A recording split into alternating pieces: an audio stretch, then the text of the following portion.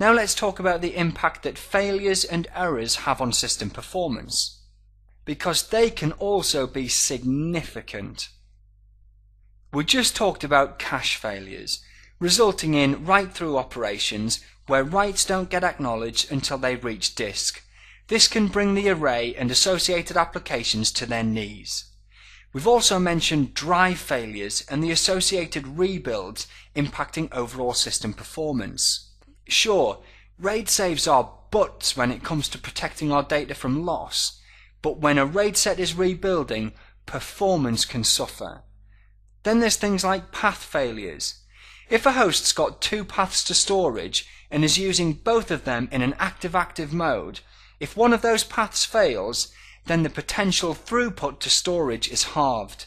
This can also have an impact on performance.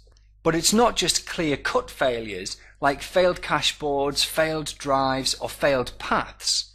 Small and intermittent errors can also impact performance. On the Fibre Channel SAN, for example, faulty cables or faulty optics and SFPs can result in dirty connections that clock up things like encoding errors. These errors can impact performance as well as cause paths from hosts and storage to become flaky and unreliable, going up and down. And if your storage solution operates over IP networks, congestion and dropped packets can cause storage performance problems. So keeping a clean and healthy estate is also important when it comes to good, consistent performance.